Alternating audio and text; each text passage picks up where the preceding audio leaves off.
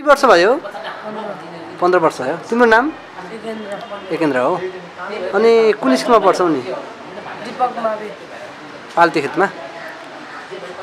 तिमीले आफ्नो बुवा आमा को भनेर चिनेका छौ? हो? कहिले चिन्यौ? आज चिनी आज चिन्यौ। उहाँ तिम्रो बुबा हो? हो? अँ, पहिला तिमीले आफ्नो बुवा मम्मीको कसलाई बनाएको थियौ त? तिम्रो हुर्काएको बढाएको उहाँहरूले हो।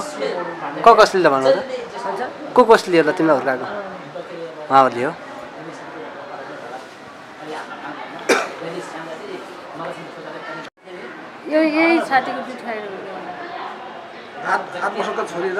आठ महिनाको।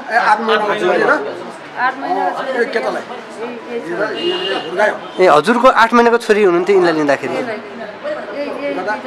तिन दिनको बच्चा लिएर पालियो।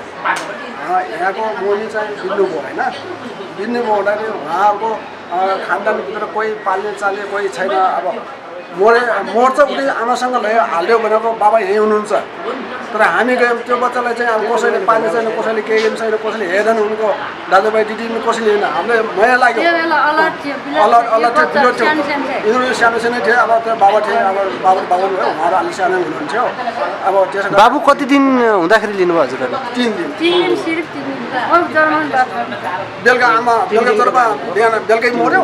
बिहान बसेर आमाले शरीर पार्यो राति आमा बेलुकै मऱ्यो आमा पायो बच्चा पायो आमा बेलुकै मऱ्यो आमा मऱ्यो बिहानमा अब आमाले शरीर पार्यो सबै सबै सबै आउँदाखेरि यो बच्चा त्यो खानामै छ कति गाह्रो भयो हजुरलाई खास अब हजुरको आफ्नो काखे नानीहरूको होइन अब बाबुलाई अहिले पन्ध्र वर्षको बनाउनु भयो म पुसमाको रात सुतिनँ नानी यसलाई दुध खुवाउँछु गुमा सुताउँछु अर्कोलाई खुवाउँछु सुताउँछु यो जाग्छ। फेरि यसलाई दुध खुवाउँछ फेरि अर्को जाग्छ। त्यहीमा फेरि म अघि फुर्सी फेरि अर्को नानीको ऊ भएँ। गर्दा मलाई यो दिन काट्नेलाई नानी हुर्काउनलाई ढुन पाप भयो। म पेज कुन जुनीमा पाप गरेर मलाई यो दिन आयो भने म रोइ रोएर नानी बाबु आमा हजुरले अब यति ठुलो बनाइसक्नु भएको छ बाबु होइन?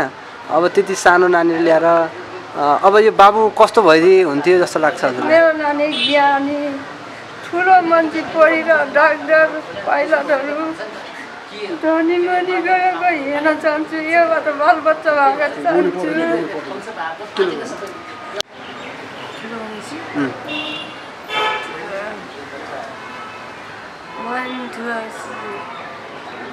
भर्ती हुने विचार छ। हो। अनि उहाँ बा आमा सबैलाई हेर्ने होला नि है? अनि अब बच्चा जन्मियो रातमा। रातको दुई बजे बच्चा जन्मिँदाखेरि अनि बच्चा जन्मेर अनि साल झरिन। सालमा झर्दाखेरि ऊ आफै मेरो श्रीमतीले ऊ आफै साल काट्यो ऊ आफै साल काट्दाखेरि अँ, साल काटेर एकछिनपछि स्याहार बच्चा स्याहार गरिदिने मान्छे रहेनन् भएनन्। अनि एउटा आइमै मात्रै थियो अर्कै अर्कै आइमा हुँदाखेरि त्यसले फेरि के यो के अरे ऊ पर्यो बाइबल। मा त्यो रातो खुनमा गुरुहरू खुनमा हात नहाल्ने। त्यो मात्रै म भित्र परेँ।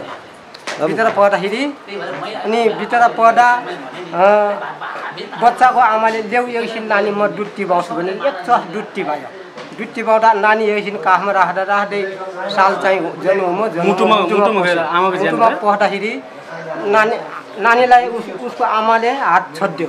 हात छोड्दाखेरि बच्चा उता राख मलाई थाप्लामा पानी छेपिदियो।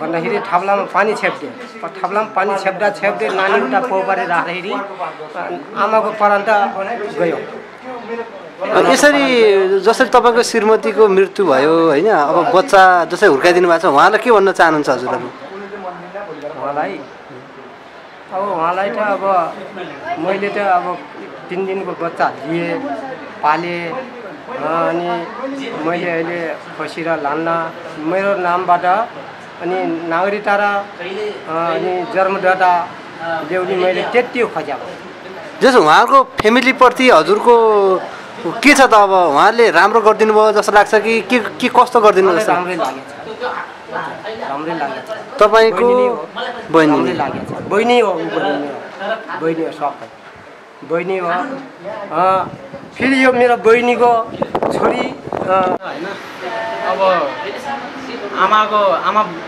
धर्मादिलो आमा बाउ भयो नि होइन। आफ्नो जन्म दिने बाउ आमाले भन्दा बढी अब लालन पालन शिक्षा दीक्षा दिनुभएको छ होइन। त्यो मेरो भाइलाई दिनु नै मलाई दिए जस्तो हो होइन?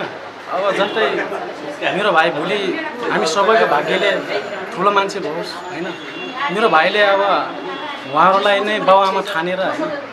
अब विदेशकालमा सहारा दियोस् उहाँहरूको आँसु पुग्नुहोस् अब यदि सामान अब धर्म गर्नुभयो होइन उहाँ यदि सामान पाल्नु अब यहाँदेखि एउटा उहाँहरूलाई नै पालोस्।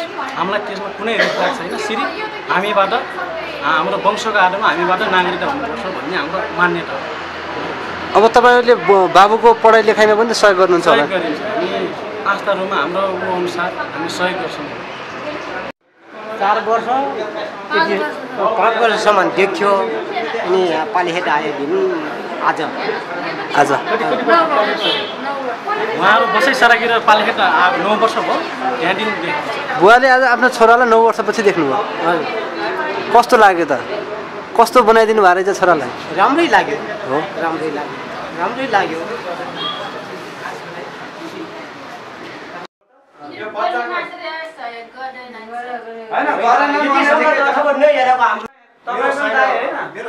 अब चाहिँ उहाँ पनि चाहिन्न तर मैले चाहिँ अब चाहिँ यहाँ पनि चाहिन्न बस लाउनुहोस् मैले अब हानि चाल्नु नि छोरी छन् सन्तानै नि लुगाहरू उसले एकचोटि लुगा लौटे नि आज त लुगा दिनु कर्तव्यको कुरोतिर जानु है कर्तव्य के हो भने उहाँहरूले चाहिँ पालिरहनु भएको छ योसँग उ भयो बाबुले चाहिँ अब के भन्छ म त बा आमा मेरा यिनै हुन्। भन्ने खालको उसको मनसाय चाहिँ बुझ्दाखेरि अब अहिले पनि फेरि बा आमाले पालिरहनु भएको छ। मैले सम्मान गर्छु। भनेपछि होइन अब गएर चाहिँ उहाँ विदेशमा गएर बा आमा बनाएर अर्का खैरेर खैरिनलाई पालिरहेको हुन्छन् मान्छे? त्यो भएको हुनाले अब त्यो केही केही फरक परेन। है उहाँहरूले पाले चाहिँ हुने भयो। त तपाईँहरू के हो भने यो त हाम्रो चाहिँ हो है। भन्ने हिसाबले केही बेला बेला उसलाई चाहिँ दिने कुरा सधैँ छ। भोलि कानुनी रूपमा कानुनी रूपमा गएपछि न तपाईँहरू दुइटालाई नगरेर वृद्धहरूको सम- सेवा गर्न अरूलाई पो हिँड्छ कि उसको खुसी मम्मी बितेको मैले पालेको यसको चाहिँ गोडमान गर्ने हुन्छ हुन भने हेराउँदाखेरि अँ, पन्नीले के भन्यो हो दुइटा थनी खाएको तिम्रो खुसी यसलाई मजाले गर्नु पाउँछ भने पन्नीले भन्यो। भन्दाखेरि मैले निमन्त्रण दिँदाखेरि तपाईँले भनेको यहाँ निवेदन त्यही